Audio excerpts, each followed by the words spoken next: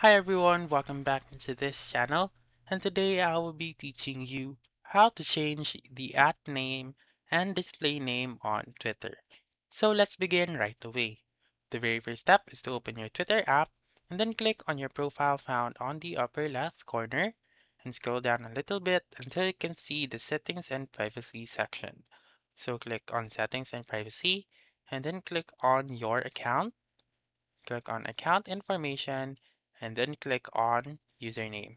So if you want to change the at name or the username, just simply type it in here under the new section or new option. So once you're done, simply click on done on the upper right corner, which is this one.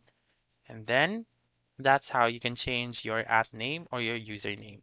So if you want to change your display name, you just simply click on the home button to go back and then go to your profile once again, found on the upper left corner. Then click on your name or your profile. And then right here, you may click on edit profile right here.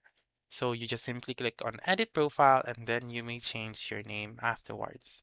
Since I don't have, I mean, since I haven't um, set up my profile, I still have this button right here. So you just simply set up your profile if you are a first time user. You just um, set up your profile first and then you may edit your name afterwards. So that's it. That's how you can change at name and display name on Twitter. So that's all for this video. Let me know in the comments section if this works out for you. For more helpful tutorials like this, please subscribe to our channel and don't forget to click that notification bell. Thank you for watching and have a wonderful day.